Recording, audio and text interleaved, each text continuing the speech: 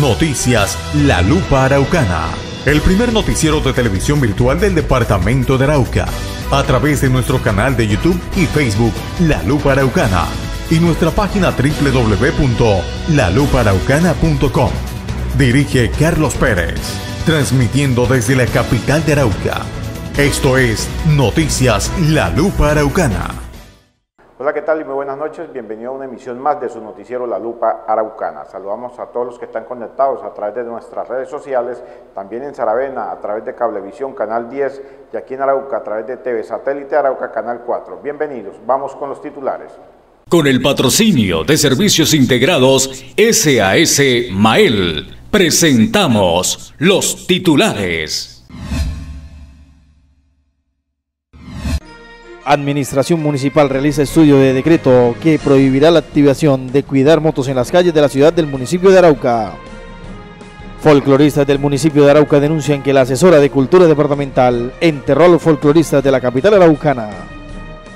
Más de 5.000 personas de nacionalidad venezolana han llegado al municipio de Tame. Gaula de la Policía Nacional realizó campaña para evitar la extorsión y secuestro en el municipio de Arauca. Después de cuatro años se fue de la administración del terminal de transporte Marcos Reyes. Consejo de Arauca aprobó proyecto por el cual se incrementan los salarios de los empleados públicos de la alcaldía de Arauca.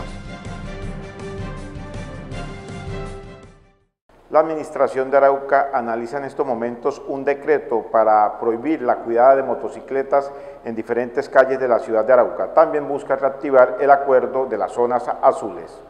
La Administración Municipal de Arauca viene proyectando el decreto por el cual prohibirá la actividad por parte de algunas personas de cuidar motocicletas y vehículos en las calles de la ciudad. Estamos haciendo un análisis con la oficina eh, asesora jurídica del municipio a fin de contemplar eh, todo lo que tiene que ver con la normatividad vigente, partiendo desde el Código eh, Nacional de Policía y Convivencia, de manera que estructuremos una, una norma que restrinja este tipo de actividad que es una actividad informal.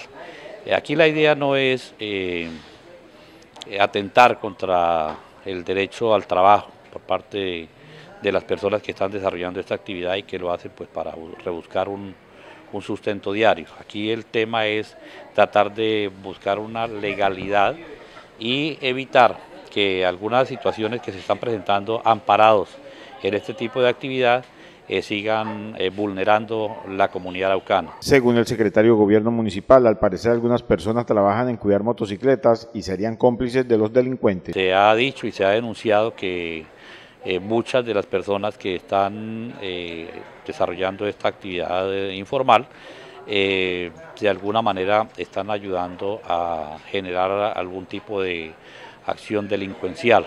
Entonces, eh, lo que se quiere es evitar que eso se dé. El funcionario manifestó que el acuerdo aprobado de las zonas azules está en este momento en estudio por parte de la oficina jurídica. Estamos revisando también adicionalmente lo que tiene que ver con un proyecto que se presentó en, alguna, en algún momento eh, relacionado con la activación de unas zonas azules.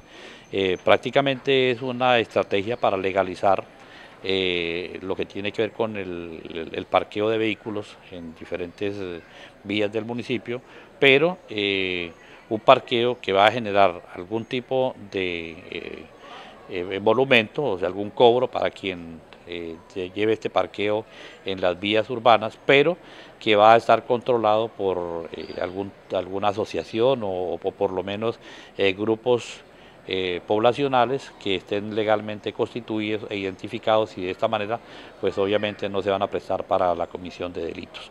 De todas maneras, esto está en estudio, eh, no podemos en este momento decir que sí que es un hecho ya las zonas azules, lo que sí se está eh, avanzando es en el decreto que va a prohibir la actividad de aquellas personas que viven Mm, prácticamente tapando carros y motos o cartones. También se buscará que las señales de tránsito instaladas en las diferentes calles y carreras se respeten. Una normatividad que emitió la Administración Municipal con el fin de organizar la movilidad en el municipio de Arauca, eh, en vías y en calles. Además, de igual forma, hay un decreto que está prohibiendo eh, el cargue y descargue de vehículos en algunos sectores del municipio.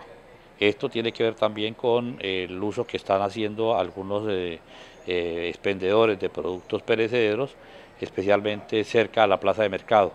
Entonces ya se ha venido trabajando con la autoridad competente, con la Policía de Tránsito, con el Instituto de Tránsito, para que operativicemos esta normatividad y de alguna manera eh, respondan frente al cumplimiento de esta norma. El decreto de la Administración Municipal busca prohibir la actividad de cuidar vehículos en las calles. Lo que se va a prohibir es la actividad, indistintamente de que sean venezolanos o colombianos, se va a prohibir ese, ejercicio informal que se está llevando a cabo en las vías y que ya pues está generando eh, no un servicio, porque de pronto lo que se, se, piensa por parte de algunas personas que está prestando un servicio a la comunidad, se está generando es, es una problemática social en el municipio de Arauca. Por el momento el proyecto de decreto permanece en la oficina jurídica del municipio de Arauca con el fin de darle visto bueno al alcalde de la capital. Los folcloristas del municipio de Arauca denuncian que la asesora de Cultura Departamental Marisol Padilla enterró a todos los folcloristas del municipio de Arauca. Los folcloristas del municipio de Arauca se encuentran inconformes por el trato que les da la asesora de Cultura del Departamento de Arauca Marisol Padilla. Se están despifarrando los recursos en otras actividades. Solicitarle al señor gobernador y a la asesora de Cultura del Departamento debido a que los folcloristas nos miramos eh, en una realidad imposible de que nos tengan eh, en cuenta en los proyectos que se han venido desarrollando a través de la cultura. La cultura es dispensiosa, pero sabemos que Arauca necesita de folclor llanero, necesita de eventos proyectados que vayan en busca de buscar la opción o el espacio requerido para los folcloristas araucanos. Nosotros no tenemos, en esta, en esta oportunidad tenemos quien le duela al folclor llanero, el folclor llanero está enterrado completamente en el departamento de Arauca, los espacios se han perdido, el espacio de los folcloristas se están perdiendo por la mala proyección, la mala planificación de los recursos, el mal manejo que se les está dando. Y debido a esto pues está pasando esta grave crisis en el departamento por parte de los folcloristas. Según Dumar Ortiz, folclorista, la administradora de la cultura del departamento de Arauca, los está enterrando a todos los folcloristas de esta región del país. Necesitamos, señor gobernador, señora asesora, que usted planifique bien los recursos que nos pertenecen a nosotros como folcloristas. No es posible que ya la gente vaya a su despacho, señora asesora, y no nos tomen en cuenta para nada las propuestas que se les pasan a ustedes siempre las desvían para otros lugares con otras respuestas que no nos identifican a nosotros para poder seguir adelante.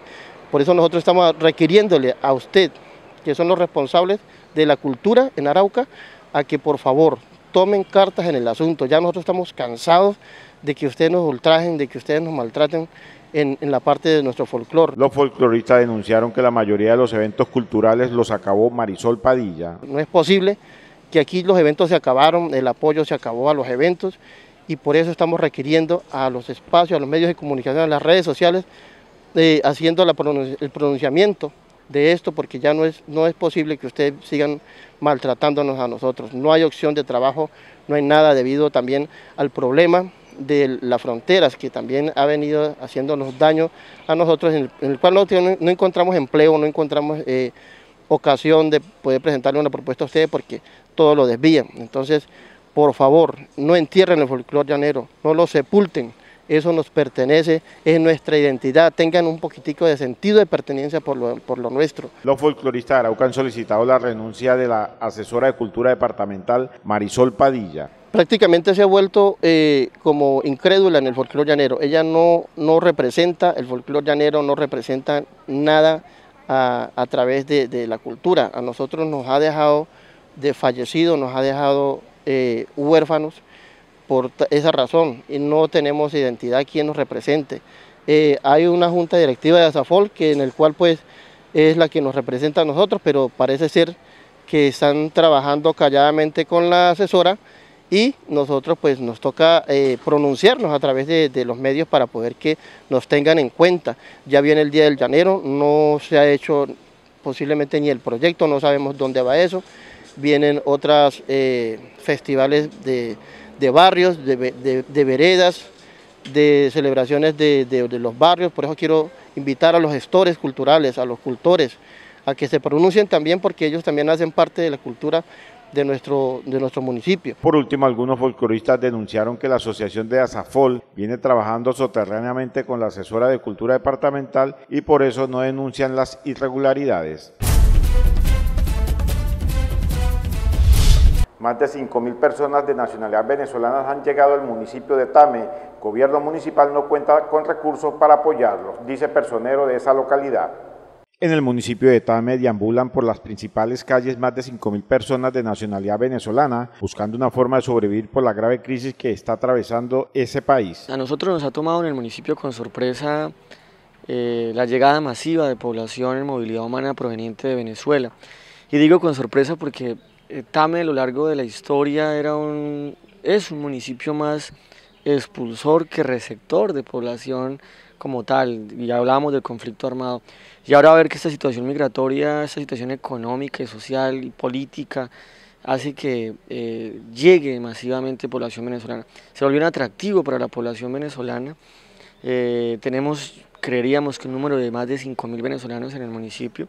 Solamente basta con acercarnos al Parque Central y ver la cantidad de personas eh, sentadas allí con sus niños, muchas veces en situación de calle, y en una situación de vulnerabilidad muy grande. En el municipio de Tame existen 22 asentamientos y la mayoría son de personas que han llegado desde Venezuela. La expresión de la cantidad de población venezolana la podemos ver con un solo detalle, es que tenemos 22 invasiones. 22 asentamientos humanos informales, que de hecho es el municipio con más asentamientos de todo el departamento de Arauca. Esto ha llevado a repensarnos a construir una serie, digamos, de acciones, de políticas públicas con enfoque de derechos humanos y con enfoque humanitario. Y aquí debo decir que tanto el Consejo Municipal de Tame como la, misma Administración Municipal se han, eh, podemos decir, metido en el cuento de ir creando incidencia. Y cuando hablo de crear incidencia es ir bajándole el tono a esos lenguajes de odio, de xenofobia y de discriminación que hablan de población venezolana, pero en el sentido de sacarlos del territorio y de proteger a la población colombiana como tal. Es necesario, claro que lo es, que proteger a nuestro comercio, hay que proteger a nuestros eh, ciudadanos tameños, pero también hay que mirar esta, esta dinámica territorial con un enfoque netamente de derechos humanos. Se necesita la atención en muchos sectores como la salud y la educación para estas personas de Venezuela. Atención en salud, el acceso a educación, el acceso a las necesidades básicas insatisfechas.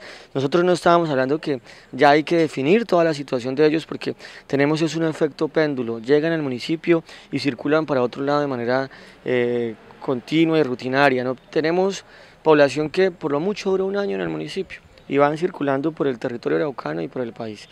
Eh, allí hemos notado, hemos notado compromiso no solamente eh, por parte de la personería municipal, sino también por parte de la alcaldía. Vemos como la Secretaría de Bienestar Social, la Secretaría de Gobierno, como el Consejo Municipal en los mismos controles políticos les pregunta a los, a los secretarios de despacho, ¿qué han hecho por la población venezolana? Díganos qué recursos se han invertido, cómo vamos a atenderlos, nos estamos repensando para ellos. Según el personero del municipio de Tame, el gobierno nacional no tiene cómo responderle a las personas colombianas y ahora cómo se le dará la ayuda a las personas de nacionalidad venezolana. Sabemos que esto genera unos dobles discursos, porque si no tenemos como, como Estado colombiano la capacidad de responder a nuestros ciudadanos tameños, ¿cómo vamos a responderle al ciudadano venezolano? Es la pregunta que surge. El ciudadano colombiano dice, no, esos recursos deben ser para mí. Y de hecho hay necesidades insatisfechas. Pero estamos trabajando en eso, de a poquito hemos creado sensibilización, hemos logrado que el hospital tenga mayor cobertura para la población venezolana, hemos logrado con acciones judiciales también que necesidades insatisfechas como el poder, digamos, acceder al agua, a unos servicios básicos, pues sean suficientes de manera temporal para la población venezolana. Según el jefe del Ministerio Público en Tame, que de 26 personas capturadas, solo hay una de nacionalidad venezolana. Yo he hecho controles rutinarios y paulatinos a la estación de policía y si usted me pregunta en este momento, tenemos un solo ciudadano venezolano en condición de retenido que está ahí por orden de un juez, es decir, de 26 reclusos uno. Entonces no podemos quizás manejar ese discurso generalizado de que toda la delincuencia, el consumo de estupefacientes, el hurto a ganado, eh, se genere por la llegada masiva de población venezolana. Y ahí debemos, de, debemos decir, de ser muy claros también, es que pues los grupos armados organizados en el territorio han venido haciendo un control sobre la población venezolana. Muchos han tenido que salir de las veredas por el riesgo que significa para ellos, algunos de ellos asesinados, quizás por sus comportamientos de pronto no muy adecuados, también pues comprometidos porque no se les ha permitido estar en, algún, en alguna vereda, algún centro poblado. Por la falta de recursos no se le puede brindar algunos servicios a estas personas que están llegando desde el vecino país al municipio de Tame. Vamos a una pausa ya regresamos con más información aquí en su noticiero La Lupa Araucana. Nace una nueva alianza entre el Canal 4 de TV Satélite Arauca y su noticiero virtual de televisión La Lupa Araucana. Ahora podrán ver su noticiero La Lupa Araucana en el Canal 4, de lunes a viernes de 7 y 30 a 8 de la noche, con toda la información del departamento de Arauca. Dirige Carlos Pérez. Umar S.A.E.S.P.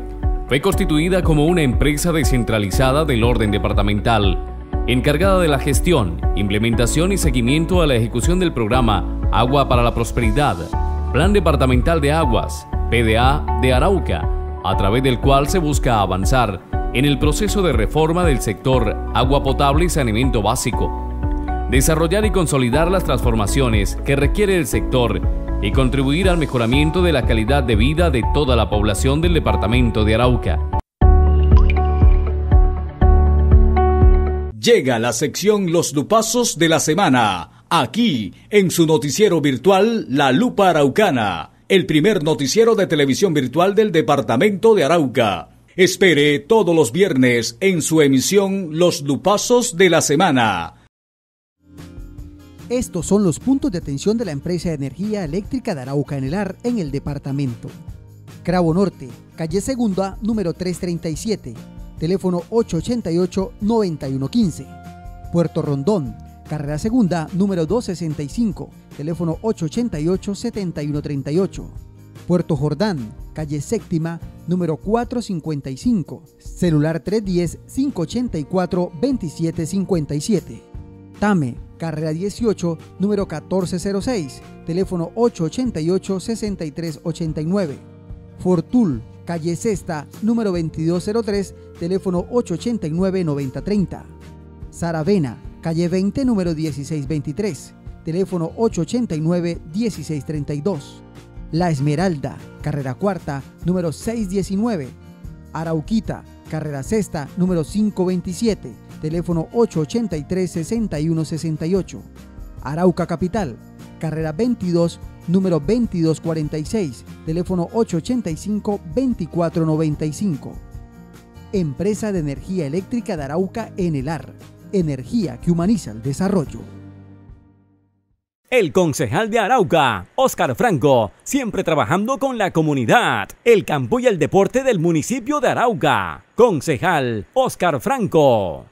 Nace una nueva alianza entre el canal 10 de Cablevisión y su noticiero virtual de televisión La Lupa Araucana. Ahora podrán ver su noticiero La Lupa Araucana en el canal 10, de lunes a viernes de 7 y 30 a 8 de la noche, con toda la información del departamento de Arauca. Dirige Carlos Pérez. El Gaula de la Policía Nacional en Arauca realizó capacitaciones a personas, también a empresas de vigilancia para evitar la extorsión y el secuestro. El Gaula de la Policía Nacional realizó una capacitación para evitar los secuestros y extorsiones en el departamento de Arauca. Allí participaron personas de la vigilancia y también la comunidad. Esa es la comunidad en general. Nosotros invitamos los principales líderes comunales, eh, empresas privadas también que puedan aportarnos con su conocimiento, lógicamente la réplica de las informaciones que les estamos entregando mediante este curso. La comunidad asistió a la convocatoria del Gaula de la Policía Nacional en el municipio capital. Tenemos buena acogida, eh, lógicamente lo hemos repetido en varias ocasiones el año anterior y ya este año iniciamos con este tipo de capacitaciones. Lo importante es que las personas que vengan acá puedan replicar alrededor de sus familias y lógicamente sus empresas o en sus lugares habituales eh, el tipo de conocimientos que nosotros les le estamos entregando, sobre todo ante aquellas situaciones que se les llegan a presentar a diario, que lo llamaron, que recibió una llamada, entonces ya estas personas pueden decirle cómo tratar la llamada, cómo recibirla, cómo manejarla y ante qué autoridades comunicarse directamente. Dos son las modalidades que se están presentando en el departamento de Arauca. Está la subversiva y lógicamente la carcelaria. Entonces la carcelaria es muy fácil de detectar, acá se les dieron los tips para nosotros identificar ese tipo de llamadas y lógicamente las primeras reacciones como, como persona tiene que eh, realizar ante este tipo de llamadas y lógicamente el apoyo que nosotros también le podemos brindar a esas personas. Según el comandante del Gaula de la Policía Nacional, la comunidad sí está denunciando a tiempo. Tenemos muy buen acompañamiento, vienen unos procesos judiciales fuertes contra eh, estas personas que están extorsionando en el departamento. Las denuncias por extorsión se han mantenido por parte de los habitantes del departamento de Arauca. Después de cuatro años se fue de la administración de la terminal de transporte del municipio de Arauca Marcos Reyes, ahora llegó Marlon Balois. Luego de cuatro años deja la administración de la terminal de transporte del municipio de Arauca Marcos Reyes, la Junta Directiva ya designó nuevo administrador. Bueno, pues muchas gracias a todos, el apoyo que se mantuvo durante el periodo que estuve. Eh, estuve con cuatro años de administración y tres años de gerencia. Eh, es una empresa que realmente es privada, administra la terminal de transporte a Sotransmar y eh, pues ya creo que se ha cumplido un ciclo importante en el periodo y en la vida y pues esperamos que las personas que vengan eh, o que venga la persona a gerenciar eh, siga con el mismo legado y obviamente tiene un reto bastante importante para dejarle a la comunidad.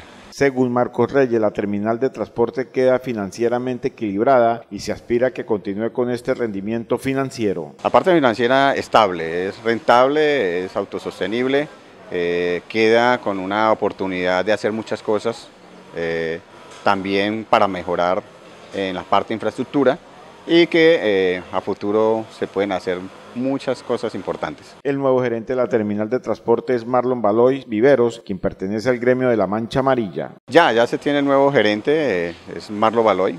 Él estuvo gerenciando también en el año 2012 al 2014-15 y vuelve otra vez es una persona muy preparada también y esperamos que, que los retos que se tienen se lleguen a, a, cumplirse y lleguen a mejorar. La salida de Marcos Reyes porque ya cumplió su ciclo como administrador. La verdad es que también creo que se cumplió un ciclo y, y ya es hora de darle un respiro a la empresa, es hora de que busquen otras nuevas ideas y es por el bien de la comunidad, el bien del, del, del terminal y el bien del transporte como tal. A partir de hoy asumió el nuevo administrador de la terminal de transporte del municipio de Arauca.